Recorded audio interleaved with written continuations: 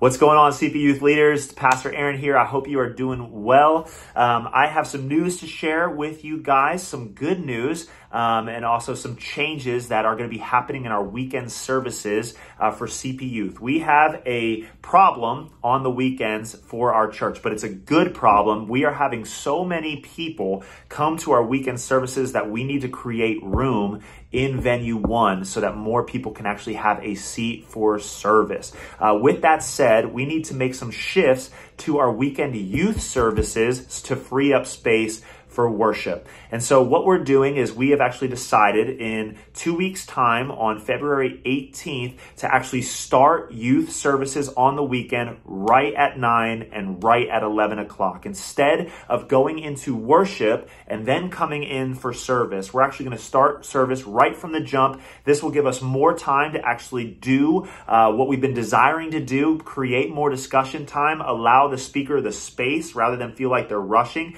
the space to actually do their topic, um, not in depth. We're still not going to go into crazy sermons or something like that, but to do their topic without feeling rushed, uh, to create time for more icebreakers, to create time uh, for more connection with students and uh, more thoughtful uh, time together in small groups. And so we're very excited about this. It's going to give us about 30 extra minutes to really connect with students. And so that means some changes for you guys that are leaders on Sundays. We need you guys to show up 30 minutes before service. If you're scheduled for 9 a.m., that means you're coming at 8.30. If you're scheduled for 11 a.m., that means you're coming at 10.30 so that we can pray together, get vision together. Um, it also means that you might want to start thinking about which service you want to sit in at and which service you want to serve in. And so the model will be sit one, serve one. Rather than kind of getting your worship filled, because we would go into worship and then go into youth, uh, we're just going to be serving on those Sundays. We're not going to have a specific worship element, which is